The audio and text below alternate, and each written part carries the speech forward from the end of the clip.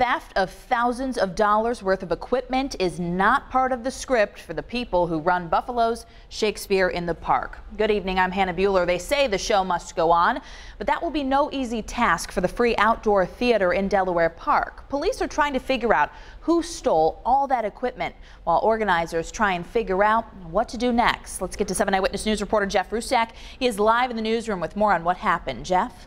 Hannah, organizers of Shakespeare in the Park said they had to scramble today to make sure that their show would go on this evening despite these thefts. Now, the equipment was taken out of their storage shed sometime this week. Lisa Ludwig, the managing director, says the microphones and audio monitors that were stolen are locked up every night in that shed.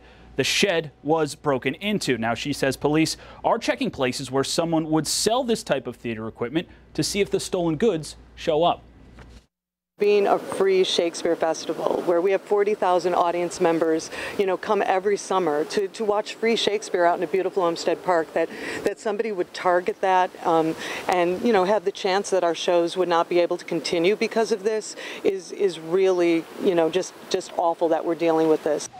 Now, the show must go on, even with losing key technical pieces. The show will start right at 7.30 this evening, thanks to the help from other Buffalo theater companies. Now, organizers of Shakespeare in the Park are asking the community, uh, anyone who sees anything that might look like this stolen equipment that they've lost, to contact police.